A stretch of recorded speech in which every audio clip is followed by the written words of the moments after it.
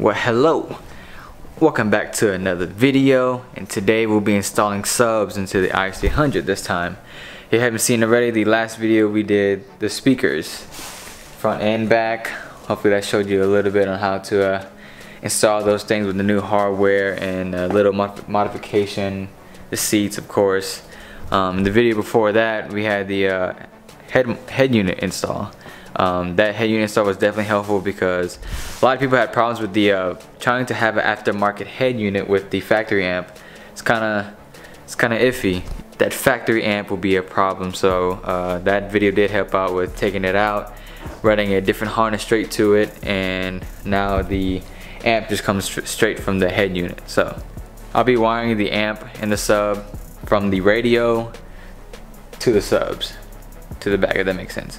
Another way you could do it is you uh, install a high input converter, which is that right there. When I used to have my old subs, take the high input converter, borrow one of the your speaker's wires, which is high input voltage, run it into the converter first, then it'll convert all that to a low output, then it'll come out to your RCA openings, then you plug this into your amp and then it would just run like a normal sub.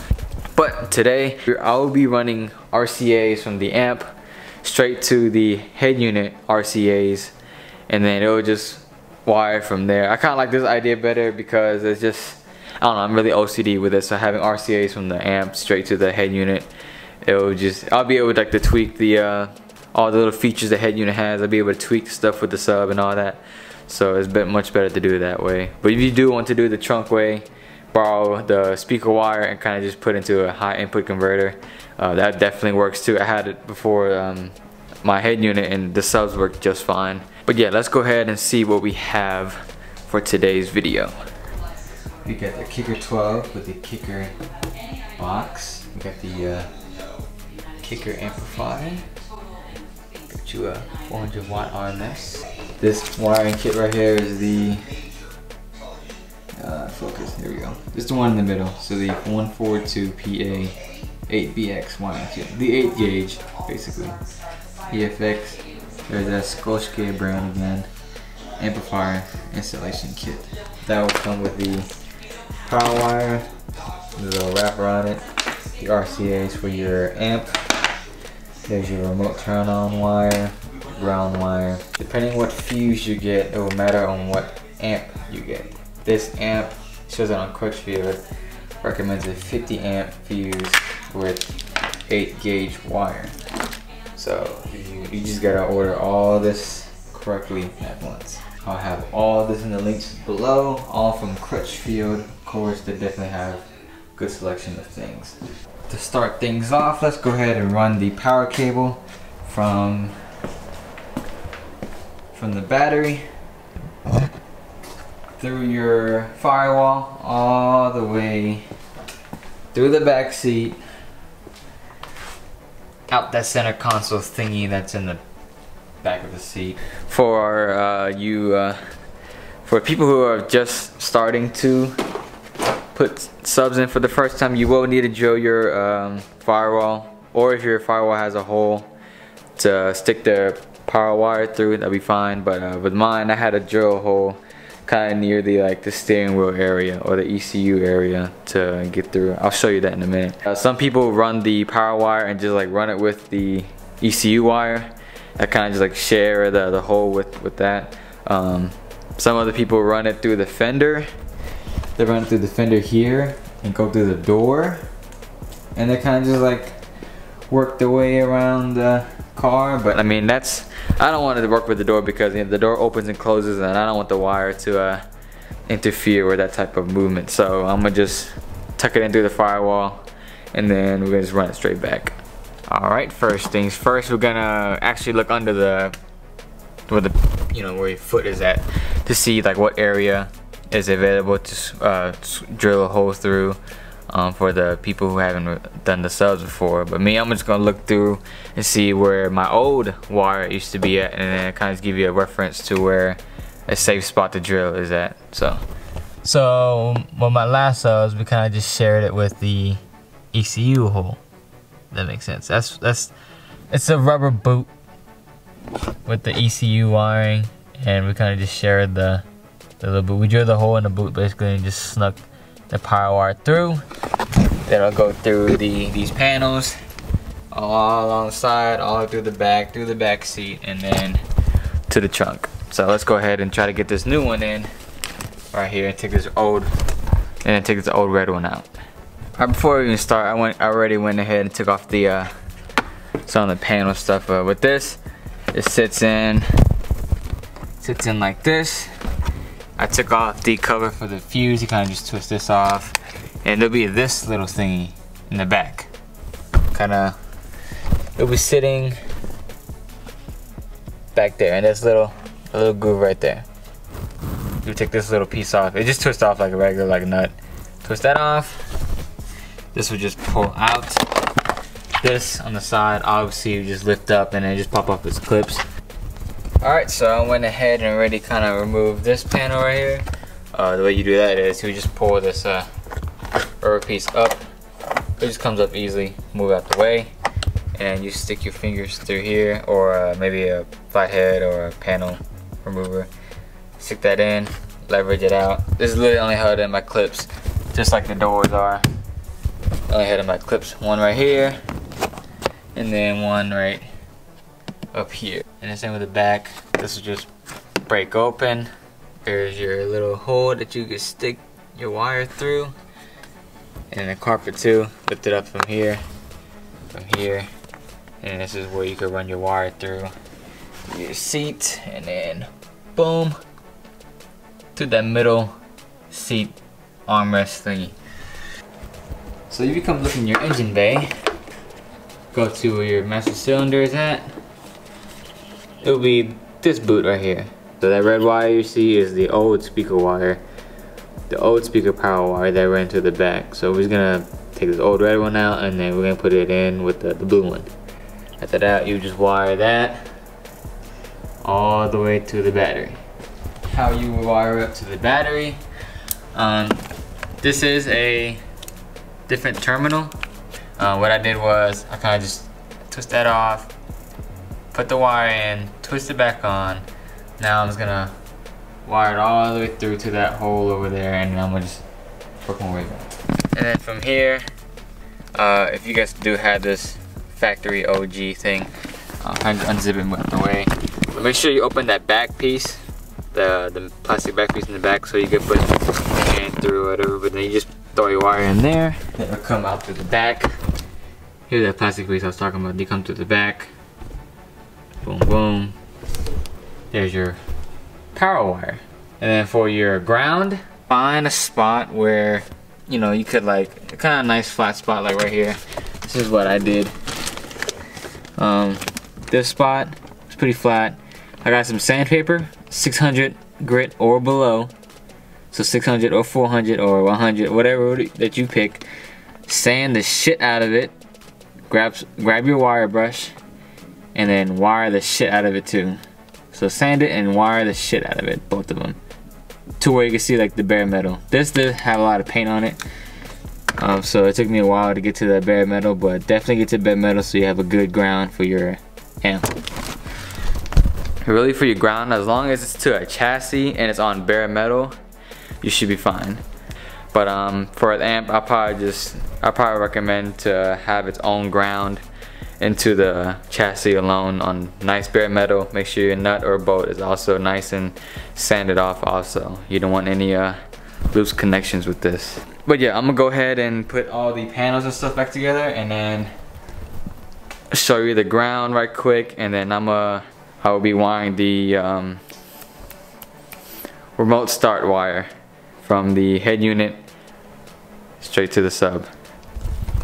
Alright, so the speaker wire for the power and the ground is ready back there. Um, now all we got left is the RCAs for the amp and then your remote turn on wire. Um, the remote turn on wire is definitely more helpful and better to uh, hook up when you have a aftermarket head unit because aftermarket head unit will already have a like separate wire on the harness for to plug this in. And of course a lot of aftermarket head units will have RCA ports in the back so you can hook up um, subs if you want to.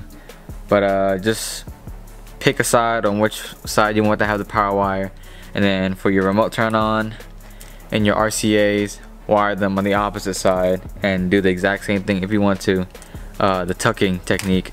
I'm gonna wire these two. I'm gonna wire these two through here go down there to the little foot panel area run it along here and of course the same exact thing as the power cable. So I'm gonna go ahead and get that done. I'll see if, got, if, I, run into any problems or anything like that. So alright got the head unit out. And um, with my stereo there's like these little um, cravings on the side. It says front rear and then SW SW would be subwoofer. So the subwoofer will be plugged into these right here.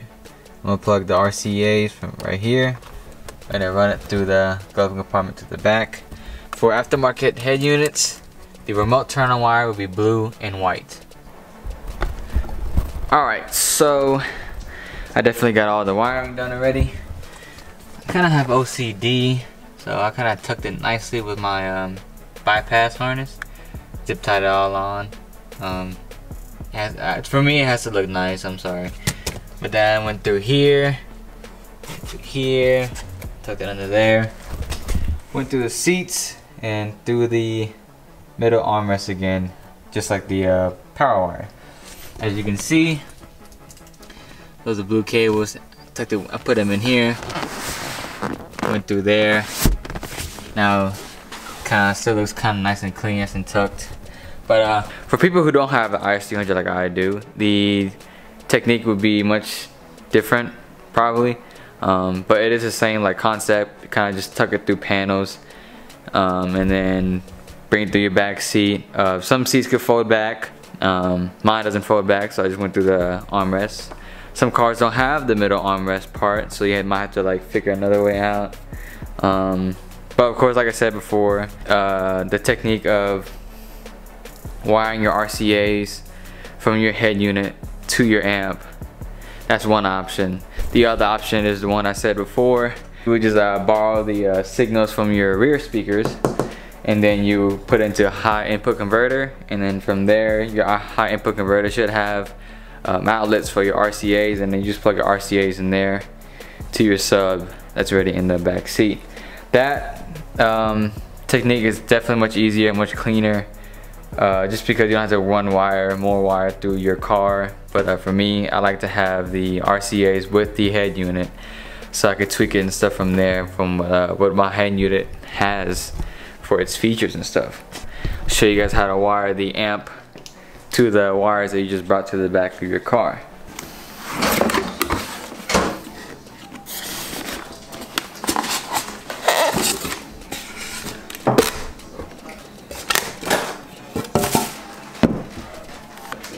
Alright, here's the amp.